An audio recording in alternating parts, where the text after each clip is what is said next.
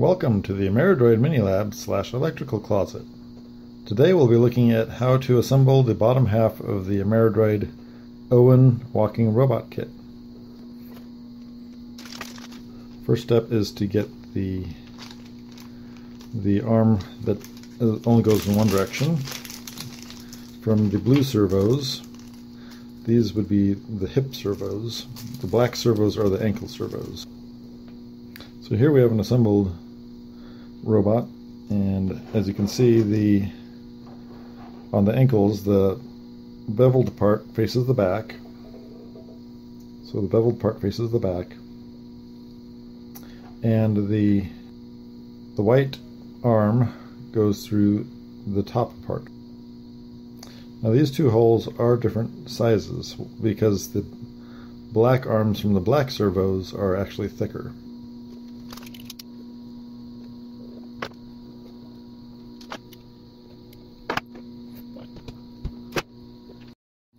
Okay, once you have those two arms in, if you have the beveled end facing down, you should have the geared side facing towards the outside edge and um, and a mirror image of each other.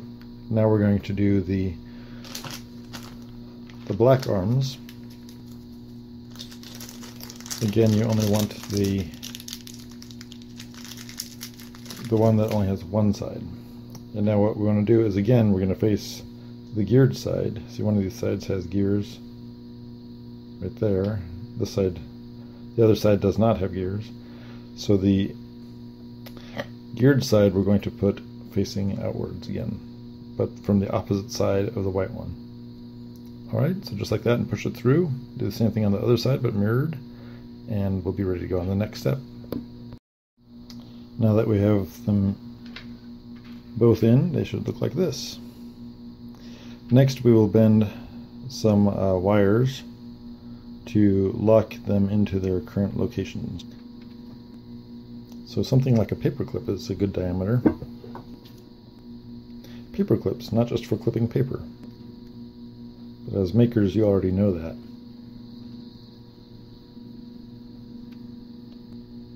So with one side of the clip in there, we will find the bend point for the other side.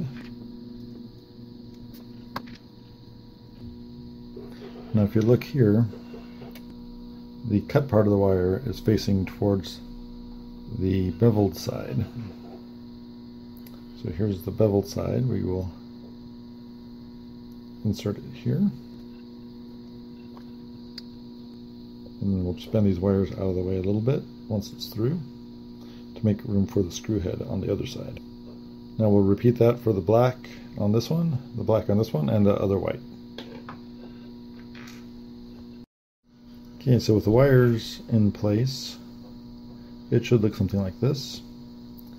And that will keep the the arms from sliding out of the ankle joints.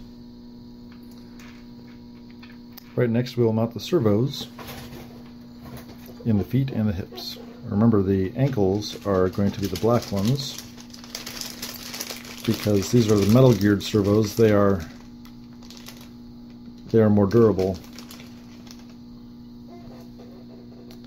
When you install these, the corded side goes towards the wide side of the foot here.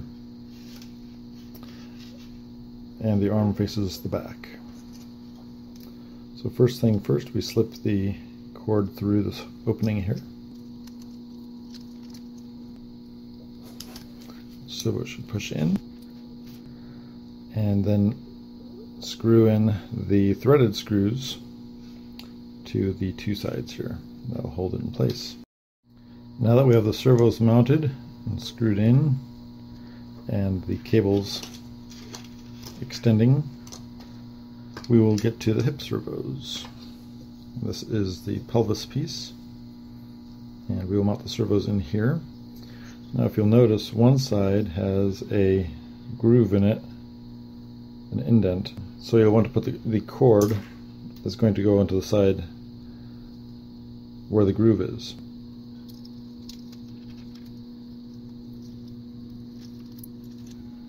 Okay, so that's how that should look. and again mount the two screws there. We'll do the same thing with the other servo. Once you have the servos screwed in, it should look like this. The axles of the servos, this is the front side of the robot. The axles of the servos should be just slightly ahead of this of this bracket up here. If you have it the other way around, you have the servos in backwards.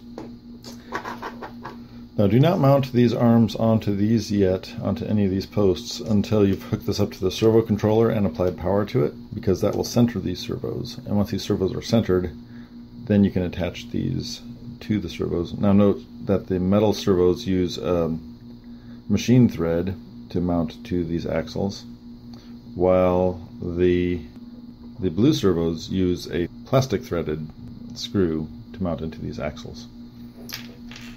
And don't worry when you hook these up, they will only go on, they will not go on perfectly square normally because of the gear, uh, because of the teeth. Actually, we have these backwards. So the, the wide part of the foot is outside. And we will want the white part to be facing up and the black part to be facing in. So it should look like this. But again, do not do this until you've centered the servos by hooking it into the servo controller and powering it on.